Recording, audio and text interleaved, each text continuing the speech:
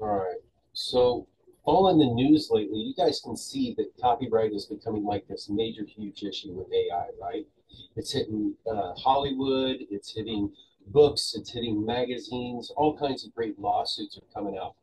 And uh, we've kind of bounced the topic around a little bit. And, and I'm curious what you guys think about some of this stuff. I mean, when you train a model, is it making a copy? I think that's the first thing we need to answer right there. Is it making a copy?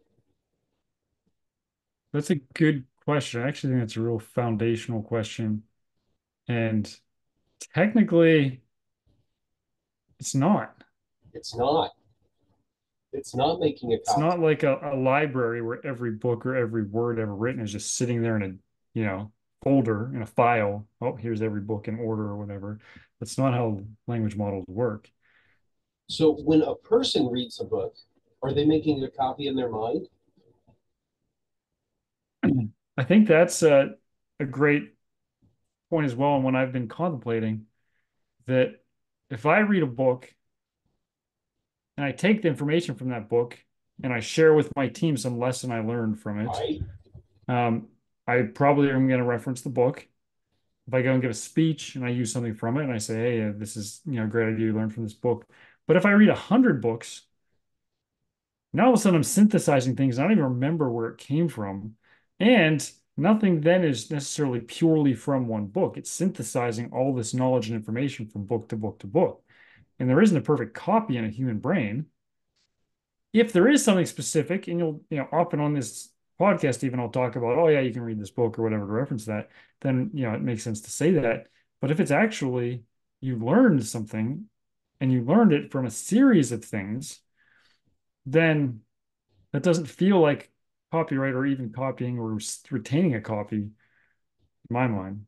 And that brings up another question, Chuck. Then there's a lot of people like Mo Gawdat, you know, he has his book Scary Smart, um, business officer at Google and so on, that basically, not basically, he says AI is humans. He says treat them like your children. Yeah. Um, he's about the most scary and I think most out there and least logical of anybody in the space, but he's like all over the podcast circuit. Everybody's talking to him. Um, so you know it's easy to pick on him because he's just so fringe. But you know that's what he believes and he believes that they're deserving of personhood because they learn. And if that's the case how would you claim yeah if we went to his extreme which again i don't agree with you know then it's a person and then it's just knowledge. Just like i can't say you copyright infringed on my book chuck because you read it and you remembered a few things from it Okay, so one, they're definitely not alive. Just because they have really good memory, they can pull things up, not alive. Okay, we can go through the science on that if we want to turn the conversation into it. But as far as I'm concerned, not alive, not possible to become alive. Um, as far as the learning and making copies of things, I do think that there is an analogy to living things, to people. Doesn't mean they're the same thing, it just means it's an analogy. So like when you go into a classroom and the instructor gives you like three textbooks you're supposed to read, and you read those textbooks and you go all through school and now you're getting your PhD and you're sitting down, you're writing your dissertation and everything, and you're writing stuff that you've learned from these other books. You're not making a copy of it. You're just using the things you learned. And when we're looking at these AI language models, that's really what's happening. They're not making copies. So if I wrote a book with AI, if I gave that book to an AI and I said, uh, give me this chapter, this, blah, blah, blah, it can look it up in a copy of that. But if I trained the model on that, what it does is it creates a series of embeddings. Those embeddings are not copies of the book. They are relationships between information that was contained within the book, just like our human brains do. They're, mm-hmm. It's a neural network. It's literally based off that. Exactly. So since there is no copy being made, there is no violation of copyright. And I feel very bad for some of the very unintelligent people in Hollywood who want to believe that there is a copy being made by these. I do not have any problem at all with language models being trained on copyrighted material as long as they have purchased one copy of it. So that was I was going to say that that that if it if they purchase one copy right? That to me seems like a potential solution that they just go buy one copy of every book or, you know, oh, I pay for my annual subscription to the New York Times or whatever, you know, so that you have access to the archives and so on. And that theoretically would cover it, I would think, based on just how they learn. But to be fair, I don't know what the law actually says, and I'm not a lawyer. So doesn't just because that's all logical and reasonable and that's how it works does not mean that's how the law is written. And so that's where I couldn't say is it simple. legal or not. No, copyright is actually a very simple thing. I mean, it's literally about making copies of things and whether or not you can distribute those copies of things. That's really what it is. It's Well, I think it goes one step further than that, Chuck, right? It's whether you can make copies, distribute it, and make money from it. And that, I assume, is where people have the problem, is because they see their livelihood disappearing potentially because this thing has learned from something else that they have done, which they hold on tightly to and believe is theirs and theirs alone, despite the fact that they've distributed it. So Yeah, I guess the question I would have is that OpenAI charges a subscription, as I'm sure a lot of these other AI models do. And if they don't now, they're definitely going to in the future. So if all of the LLMs are free and completely open source, would that change things, do you think? Do you, would these artists have a leg to stand on? Hmm. no. I mean, you're right. It is all about money. That's what this all breaks down to. It's money and power. Because what what really is money after a certain level, it no longer becomes the thing you buy, you know, dinner with. It becomes power. That's that's what money really becomes eventually is power. And that's what people want. People want power. Why shouldn't we want power? We don't want to be powerless. Who wants to be powerless? But at the same time, we have to recognize everybody else out there, and everybody else has a right for things. So I think of these authors or whoever's out there who's all freaked out about AI now has read my work and can now make good work. Do they also freak out about the students that are graduating that have read their work and are coming for their job? Because that's always happening. You're always going to lose out to whoever has the better knowledge and is coming up and, and, and going. Yeah, that's what I was thinking, Chuck. The analogy to the to the person, or at least a neural network, you know, the brain, I think is still relevant, right? Meaning.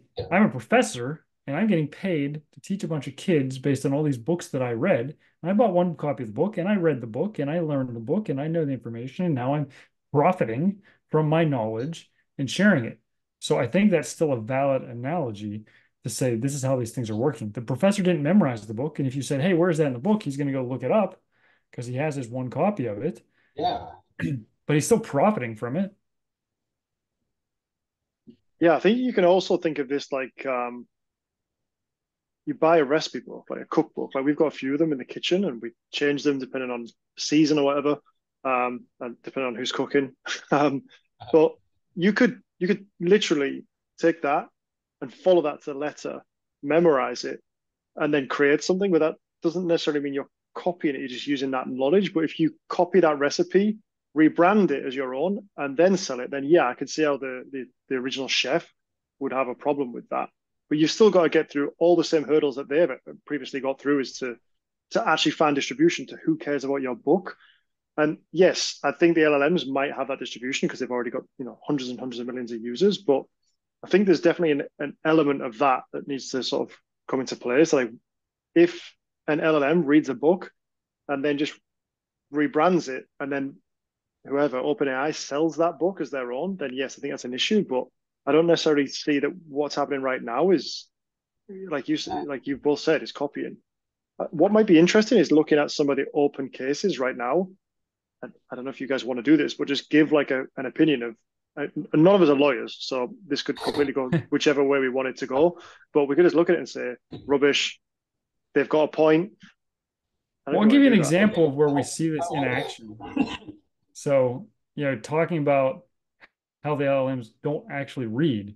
So when we were writing our book, so you know, our Soulless Intelligence book, I would go to the LMs. Uh, in particular, I was using Gemini and Bard at the time a lot, and I would say, "Hey, give me a quote from Ray Kurzweil about this topic," or "Hey, show me a few quotes from Max Tegmark," or you know, whoever the AI person that I was you know referencing, and I and I knew because I'd read their material roughly what they'd said. I just wanted the actual word for word quote, Right, right. right?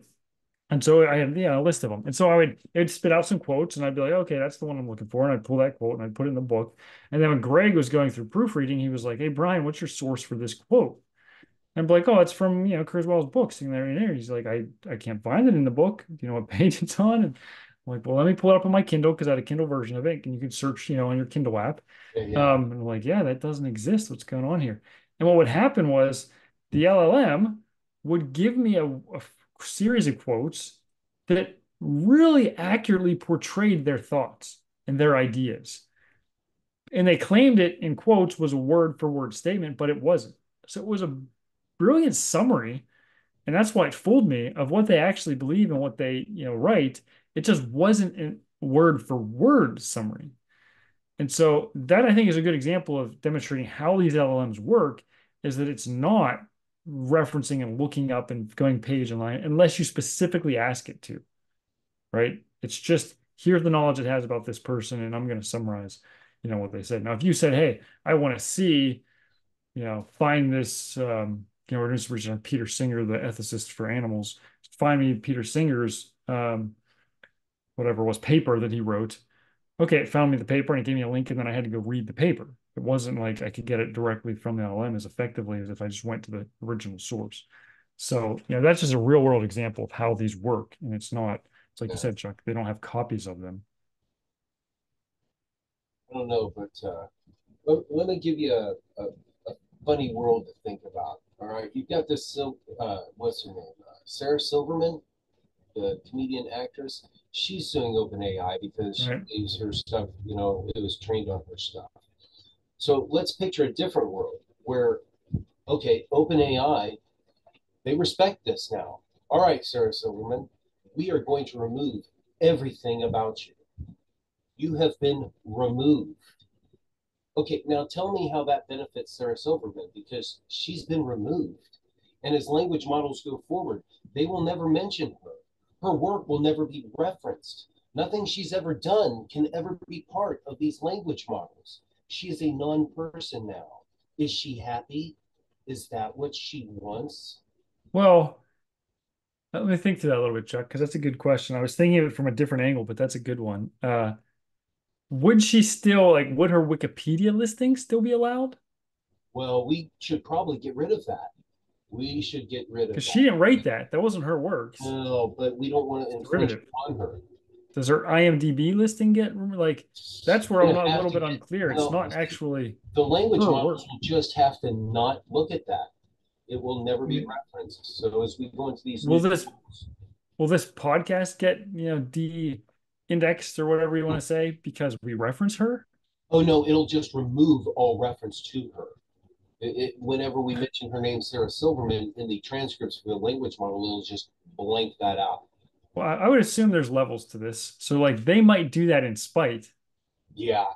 right? Which might. which I don't think is what she's asking for. No, but that's uh, where she's headed. Right. So I can see where they'd be like, okay, cool, we'll just like erase you from I'm thinking of like the sign the, the scene from 300 that he's gonna erase their tribe from the Right. the history. Like Just you know what I'm talking about? Um, so I could see that, and that I think would be um, not in her best interest. But I was thinking of it from another perspective. So I think I think New York Times had worked out a deal, if I recall correctly, with one of the with OpenAI for their Mhm. content. But I'm thinking, okay, let's just say you took all the mainstream media and they were like, no, you can't steal our stuff. So ABC's gone, NBC's gone, you know, Yeah. CBS is gone, Fox is gone, CNN is gone. So they just nothing they've ever said is in the large language model. none of it. Now, now one there's a question of is that better for us Absolutely. or not, right? It's so bad. Um. And so, but the second is from a business perspective for them, you then have to make the case separately that wait a sec, you have your open AI and you're going to ask about the news because eventually it's going to be real time or pretty darn close to. That's what their search GPT essentially is becoming. Um, and then instead, I'm going to go over to the separate source. I'm going to go subscribe to CNN and pay their money. I'm going to go subscribe to New York Times and get behind their Right. paywall.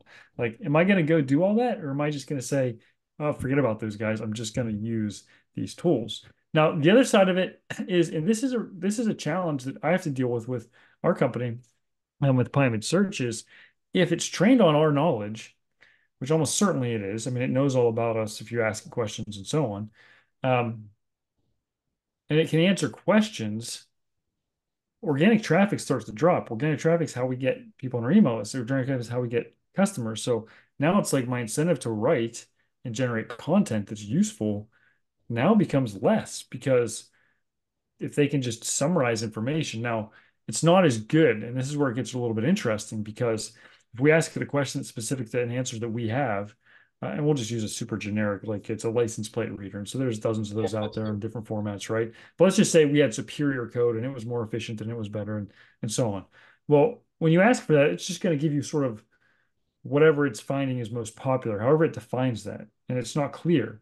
Is it weighting somebody else higher? Like oh. is openai weighting the new york times higher now as a news source than it is the new york post? And so it's going to reference that first and so is that happening across the board and how is that working? Or is it purely volume? Is it using signals like search engines do? How is it determining whose license plate reader code it's going to use? Or is it somehow it can't really average them because then you're going to get jumble it's not going to be effective. It's not going to work when we're talking about code right? That's so, no different to what the internet to what google does now though right? Well it's different in that google will give you a snippet but it's not going to give me the full details until I go through to the site. Whereas OpenAI, it, it does weight different websites high, uh, more highly than others. That's why that's where domain authority comes from, and also Reddit as well. Like in the last, I don't know how many months, maybe twelve, probably more. It weighs Reddit more than than other sites as well. You're just talking, yeah. So you're talking about SEO in general. So not providing the information, but ranking the information. Exactly. Yeah. But you talked about ranking systems yes. there about the New York Times versus the New York Post. Like that. That's right, not yeah. new, so right? Yeah. There's two steps there. One is how does it rank it? So that's the same as any search engine does. Some to some level. I would assume that has to happen to some degree with the LLM, right? Um, and, and two is okay. Now when it gives me an answer, so I ask it questions about legal, I ask it questions about health, I ask questions about diets, I ask questions about a million different things. Um, I was asking questions about viewership for you know marketing and so on. Um, it's pulling that information from somewhere. And when it would give me references, I would say link to this. The references that it gave me weren't exactly the same thing. Like it was clear that it was reading what it sent me, but it was also reading 10 or 20 or 50 or 100 other things to give me its actual answer.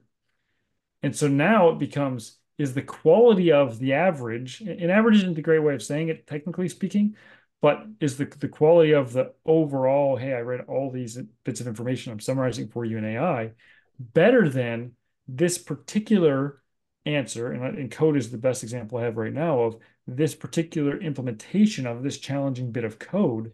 Is that better than if we looked at all of these, of which most aren't any good? Right. And that becomes your now sales pitch is, hey, wait a second. Yeah, you can go to the LM and get the okay stuff all blended together. Or you can come to us specifically and we'll give you the truth, we'll give you the best, we'll give you the most accurate, we'll give you the vetted, we'll give you so on. And I think there is an argument for that that's quite strong um, in a lot of ways because an LLM does not know what good marketing looks like right? And you've experienced this, Rob, in, in your work, and we ask it to, to, come up with a sales letter, we ask it to come up with a, a landing page, we ask it to come up with marketing information or headlines or whatever, unless you give it very, very specific details. Hey, I want scarcity, I want urgency, I want a number, I want, you know, a guarantee, you know, I want proof, I want, you know, like, you have to really get in there and tell it. Now, if you tell it all these things, it's it's amazing. But you just took your knowledge of making you, a, you know, why you're a great marketer put it into the LM and said, okay, I want you within these constraints, then give me quality. Now, if you're an average or not a marketer at all, it's going to spit out something you're going to be like, oh, that's pretty cool. That, that sounds good. But it's just because your gap of knowledge is, oh, I think this, you know, five on a scale of 10 is good marketing because I don't know any better. And that's essentially where the LLMs are. They don't know any better. So they're giving you the five stuff. They can't really give you the 10 stuff because they don't know it. They don't know what makes something a 10 because it's the internet.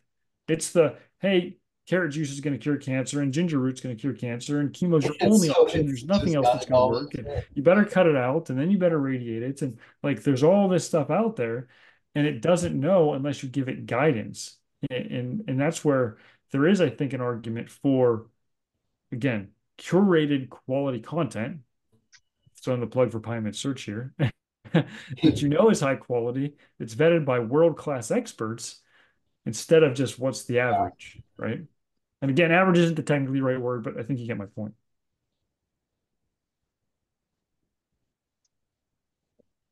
Does that make sense? Because I would, I want to switch topics if, if we're wrap that one up.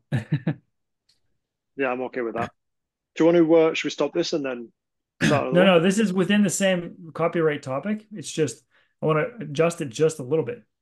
So this is something that we talk about. Okay, LLMs are brilliant. They're intelligent. They're amazing. They're going to lead us. Well, most people don't think they're going to lead us to AGI. That it's going to be some sort of multimodal or whatever. That at least the people are arguing on that. Um, I know, I, I agree, Chuck, but this is what's being said. Um, I find it very interesting when you think of how the LLMs and, and, the neural networks, the artificial neural networks that we create work versus how the human brain works. Right? For a LLM to give me anything even remotely useful, it has to be trained on terabytes and terabytes of information. Right? I don't even know how many hundreds or thousands or millions so much information before it's even available to be something that's remotely helpful. I mean, I can think back to when we were using GPT-1, which was still tons of data, but was was kind of messy and clunky. And like at the time, you were like, "Well, this is pretty cool," because it was just new and it was like, "Okay, we've never seen anything like this before." But then I think of my youngest is about to turn one in a week and a half, and like his ability to process language and now start say words and try and replicate them and stuff, he doesn't need to read a million or 10 million books to start learning and recognizing. Like he can say ball. He knows what a ball is. I didn't have to show him 37,000 different balls to get him to know what a ball was. Right. You don't have to show him like if we see animals out back, some some bunny rabbits or something like that. He doesn't need to see 150 different types of bunny rabbits in different scenarios to know what a bunny rabbit looks like. Like you just see it once and he knows that's a turtle or, or whatever, right?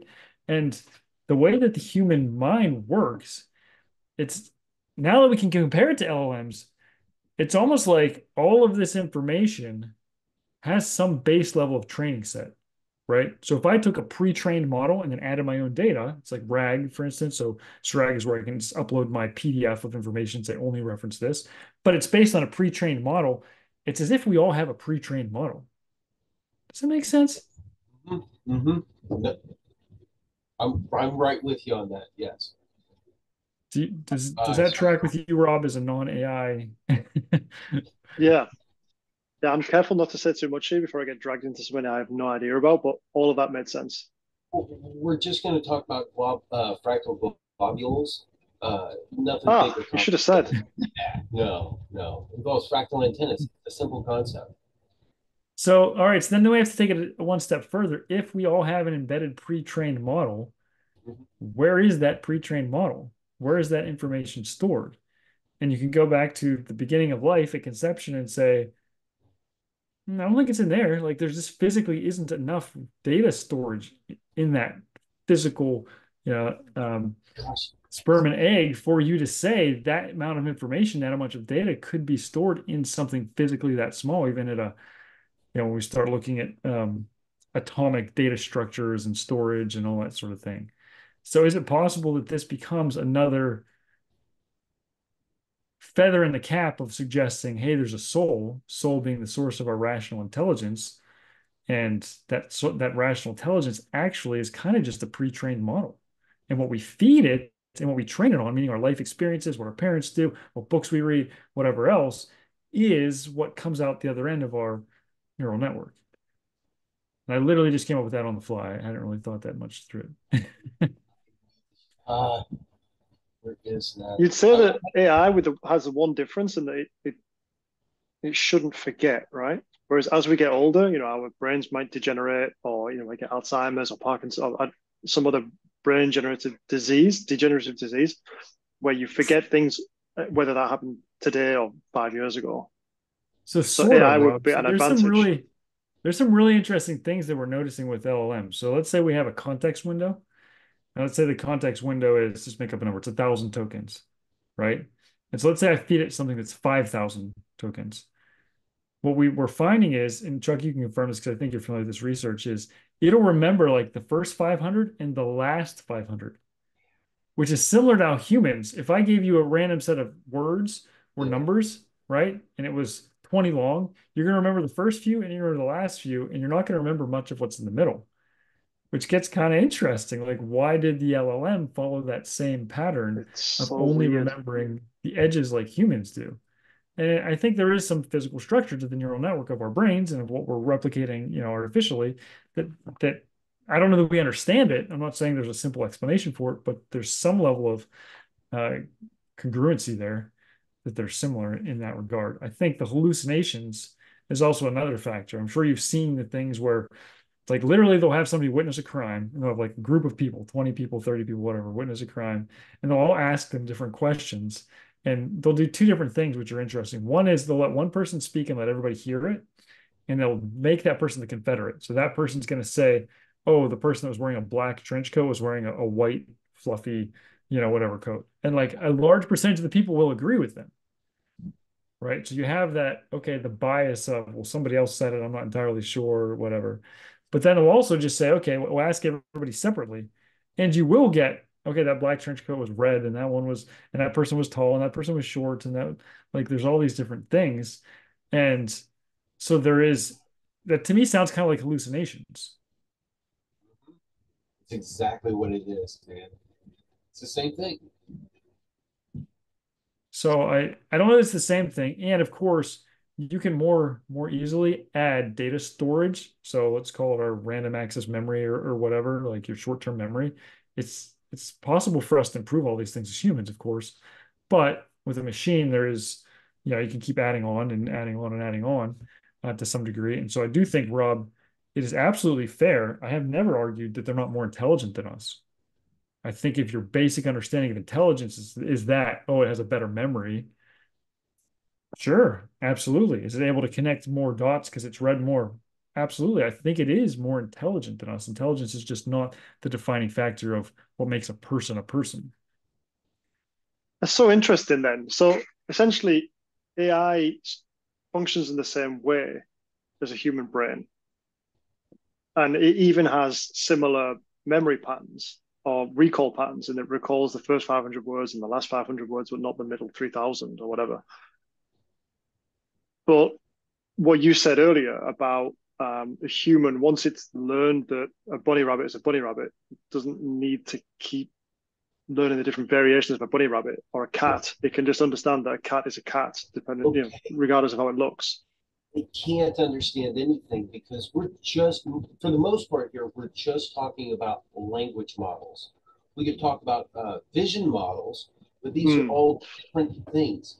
So a person or a human being, we're not just like a language model. I mean, there's similarities there, but everything we think and do is affected by all of our other senses that, that we have coming into us, whether it's uh, the sense of pressure, the sense of how warm it is or cold, or how our tummy feels, or whether we have a headache. We have all these other senses that are all being integrated into our thoughts as we go. Language models don't have any of that. They only have language vision models only have vision. The closest we get to this kind of stuff are the multimodal models, but all those really are are model are different models working together. Even Runway's uh, general world models, all those really are are a bunch of other little models that are all working together. Our brains kind of do that, but we have a lot of models going on. I had COVID and I lost my sense of smell and it made me think a lot about what is smell. You know, I it took a while. I read some articles, found out that it's been linked to damage in the brain that's associated with spatial reasoning. Spatial reasoning. And it dawns on me that scent, that's what scent is. Scent tells you what something, where something was at a specific time. It's an indicator of a spatial thing. Language models don't have anything like that. They don't have any concept of the world around us. They have no concept of time. They have no concept of space. I think that's a that's a great summary, Chuck. And have you read the book? Are you familiar with the work by Jeff Hawkins called "A Thousand Brains: A New Theory of Intelligence"? No. It's it's actually a very similar concept to what you're saying, is that essentially the brain forms a thousand subbrains within it for all the different Things. I don't know if nuances is the right word, but the experiences from different angles, right? So there's a, you know, you said it lacks understanding. That's the whole discussion of perception versus experience.